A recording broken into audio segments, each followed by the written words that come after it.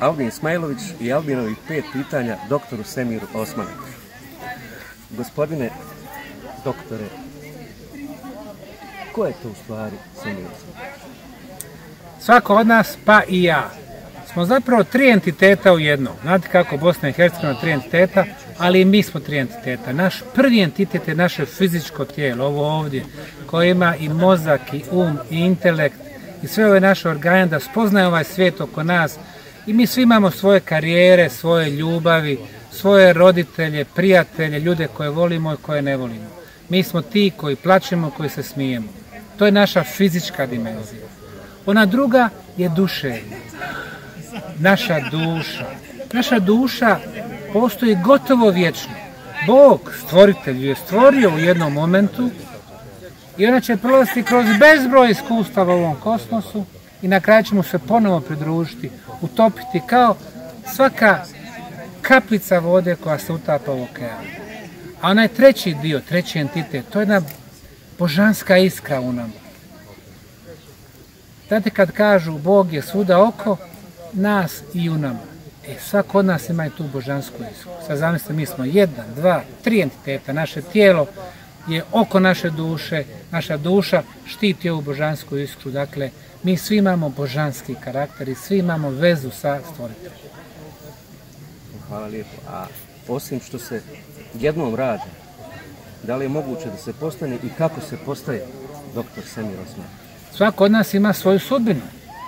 Ona koja je bila meni namijenjena, bilo je do mene u ovom životu da li ću iskoristiti do punih potencijala, da li ću praviti prave odluke, da li ću se posvetiti i fokusirati onome što radim.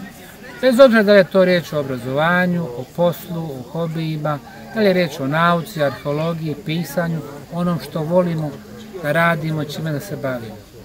Ukoliko se stvarno fokusiramo u potpunosti, onda ćemo dostići te svoje potencijale. Dakle, uvijek je na nama. Da li ćemo ostvariti to, zašto šanse postoje. Hvala. Treće Doktor- pitanje. Treće pitanje, doktor Semir Osmanović i duhovnost. i duhovnost. Nas su u školama prije nekoliko decenija, dakle sam ja išao u škole, učili duhovnost jednako religioznost. Ajde da zaboravimo to.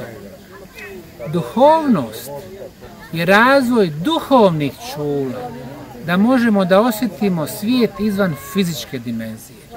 Mi imamo pet fizičkih čula da osjetimo fizičku, materijalnu dimenziju. Mi vidimo, mi čujemo, imamo njuh, okus, dodir. To je fizički svijet. Ali to nije sve. Daleko iznad ovih frekvencija koje mi čujemo, iznad 20 kHz, postoje mnoge druge koje ne čujemo, ultrazvuk. Mi možemo razviti svoja duhovna čula da čak čujemo taj ultrazvuk. Mi možemo da razvijemo duhovna čula da vidimo puno više nego što vidimo u ovom našem spektru. Drugim riječima, razvojem duhovnih čula možemo da osjetimo tu duhovnu dimenziju. Stoga za mene duhovnost je da duhovna čula, bilo kroz vježbu, kroz tehnike, kroz meditaciju, kroz susret sa Bogom, razvijajući te tehnike možemo spoznati jako veliki broj te duhovne dimenzije. Četvrto pitanje. Doktor Semir, Semir Osmanović za pet godina. Ja sam najsretniji čovjek na svijetu i želio bih da za pet godina ostanem najsretniji čovjek na svijetu. Živim najispunjenije, okružen jako dobrom energijom, čovjek bez stresa. Zašto? Stres ne uzrokuje ono što je izvan nas, već ga mi stvaramo ovdje.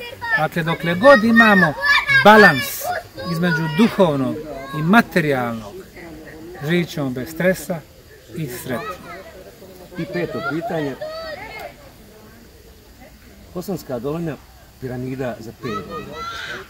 Ili arheološki park. Ovo je jedan veliki projekt, kakvom nema premca u svijetu. Mi smo počeli kao arheološki projekt sa arheološkim iskopavanjima. Onda smo nastavili sa drugim naučnim disciplinama, proširili smo. Pa smo nastavili sa energetskim aspektom, fizičari, inženjeri zvuka, telekomunikacija, elektromagnetizma, snimanje energetskih fenomena. Pa smo ga još proširili na duhovnost, na meditacije, na razmišljanjima šta je izvan ove fizičke dimenzije. Pa smo ga još proširili jer energija piramida djeluje sa beneficijama na čovjeka, na naše zdravlje. Dakle, pet aspekata, arheologija, nauka, energetski, duhovnost, ljekovitost.